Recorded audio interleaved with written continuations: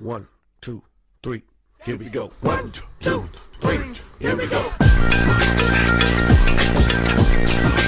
Hi everyone and welcome back to my channel. Now if you notice that I seem particularly happy today, it's because I just checked my YouTube channel and I hit 50,000 subscribers today and I'm like, I can't even comprehend that. I really started from the bottom. Like it took me at least seven to eight months to even get a thousand subscribers. Like, I remember every day, maybe I would get one subscriber or something and I would freak out. So, to get to 50,000 just means so much to me. All right, enough with the sappy talk.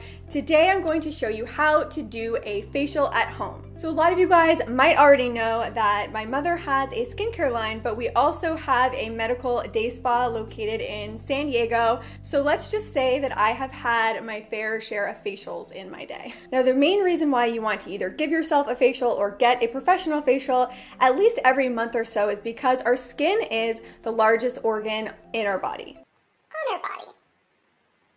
In our body. The skin is the largest organ in our body.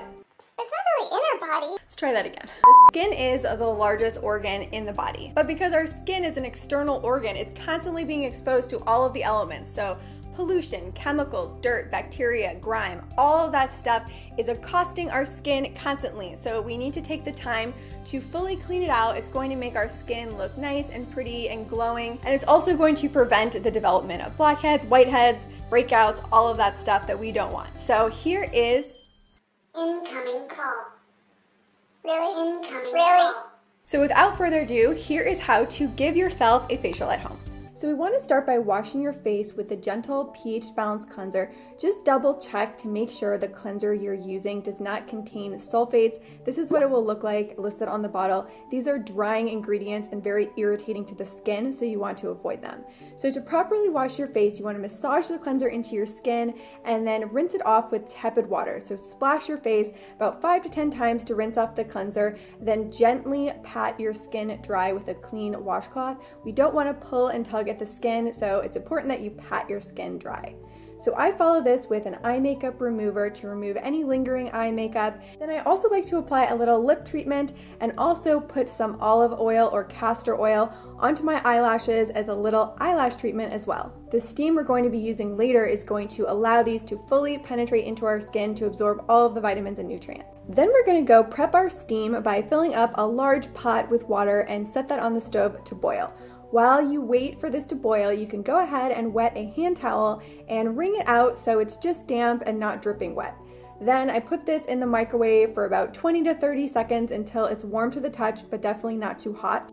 And go ahead and lay down and put that warm towel onto your face. The steam and warmth from the towel will just begin to open up your pores, and it's also really relaxing and a nice way to wait for your water to boil. So once you hear the water starting to boil, then go on over, remove the lid, and turn down the heat so it's just at a gentle boil. Then I like to add a green tea bag to the water. This infuses it with antioxidants and it's also a little aromatherapy treatment and smells so nice. Then you want to very carefully put your face over the steam and let it penetrate for a full five minutes Next, you're going to want to exfoliate with a gentle exfoliating cleanser. This is going to get rid of any remaining dead skin cells and the leftover dirt and grime that has just come out of your pores. So if you have a brush, you can use it here. I personally don't use one because I have very, very sensitive skin and I don't feel that I need it. But when you're exfoliating, whatever you choose to use, be very gentle and be sure to never tear the skin.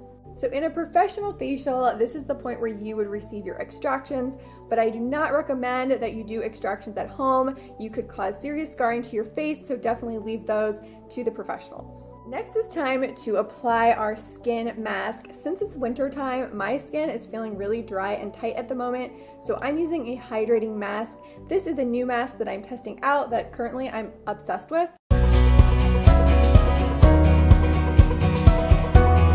Next, I prepped some spa water. I'm adding some fresh squeezed lemon and also some cucumber slices, and I saved two cucumber slices to use on my eyes. So cucumbers contain two different acids that reduce swelling and puffiness around the eye area, so this is a great little natural trick you can use. And then relax with your mask on for 10 to 15 minutes You could put on some good music, take a little nap, or you could even take a bath, whatever is going to feel nice and relaxing for you. So next you want to grab a non-comedogenic oil to use for our facial massage. So I'm gonna put up here on the screen a list of oils that are non-pore clogging. These are the oils you wanna go for and you don't wanna use these other oils that can clog the pores. So now I will be demonstrating different techniques you can use to give yourself a facial massage I highly recommend you do this not just for an at home facial, but also on a daily basis. It's going to improve the circulation and blood flow to your face, which makes your skin look more plump and glowing. And in particular, it will help if you have any dark circles or puffiness around your eye area.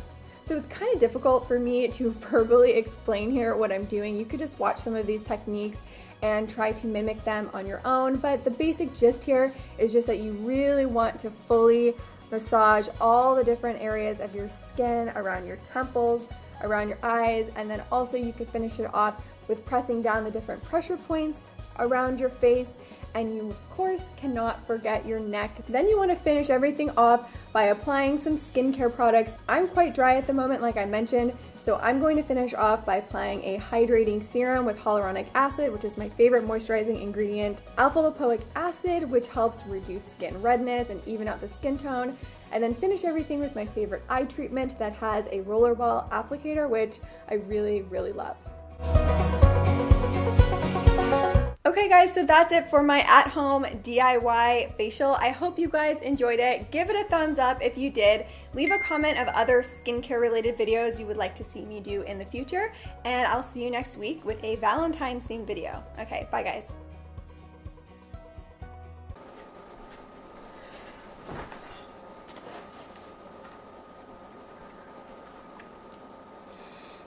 Grapes.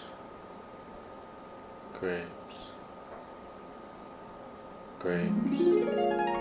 Grape.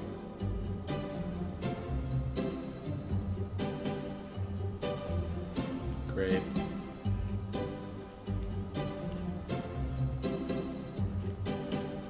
Grape.